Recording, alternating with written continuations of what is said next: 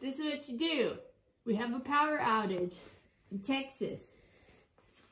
Siri told me it's three degrees outside. So I went to the garage to prepare. That's my thumbs up. This is what you need. Find your ski box or your fire box, meaning firewall lamp firefighter gear. So, I got my mittens on, keeping the digits warm. I got the ski goggles to keep my eyeballs warm. And then I found my my North Face hat. I bought it because I like these little pigtail looking things right here. Uh, my eyeball's getting cold. Hold on. Okay. Let me put my North Face back down. Okay. Then, Snuggie. I got my Snuggie that Darian bought me. Snuggie. It's big enough I can maybe fit another person in it. There. Under the Snuggie. Oh. I got a sweatshirt.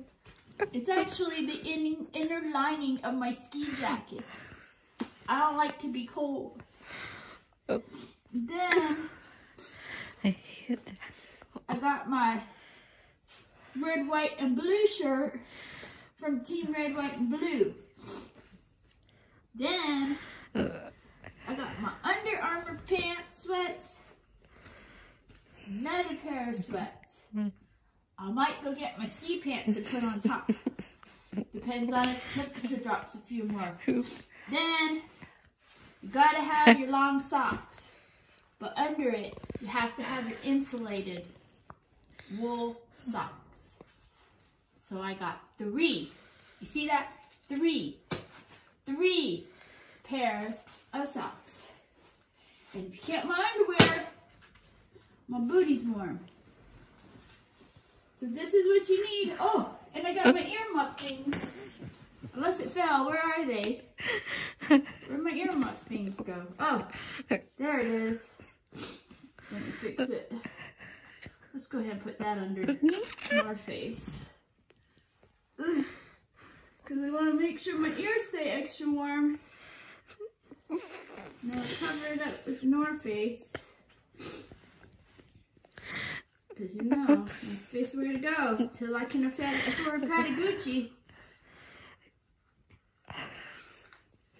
Okay. There's the goggles. Keep the neck warm and the digits. This is how you stay warm when the power's out and it's three degrees outside with snow and the temperature's dropping in the house. We're at 55 degrees in the house. But I'm prepared. Make sure you stay warm. Keep that water faucet dripping so your pipes don't bust. And I'll check back in with you later.